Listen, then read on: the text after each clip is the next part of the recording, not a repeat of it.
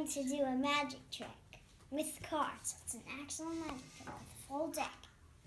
So Oma is going, so I'm going to say it's going to be a trick that's going to blow your mind. So here, shuffle these cards two or three times, whichever you want.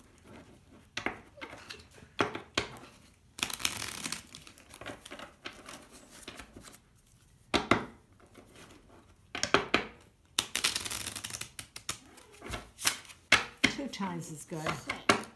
So, just to show you, there's no setup in this, nothing at all. No setup at all. See, see, see, see. I see. Okay. No, no setup.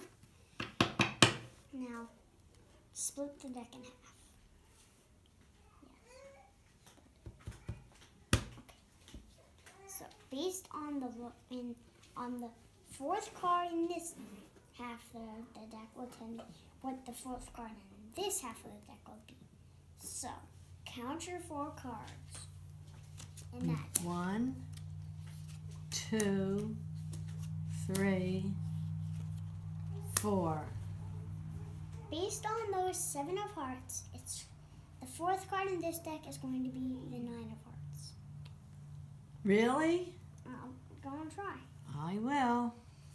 One, two, three.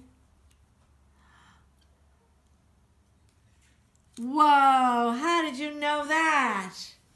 You're a psychic.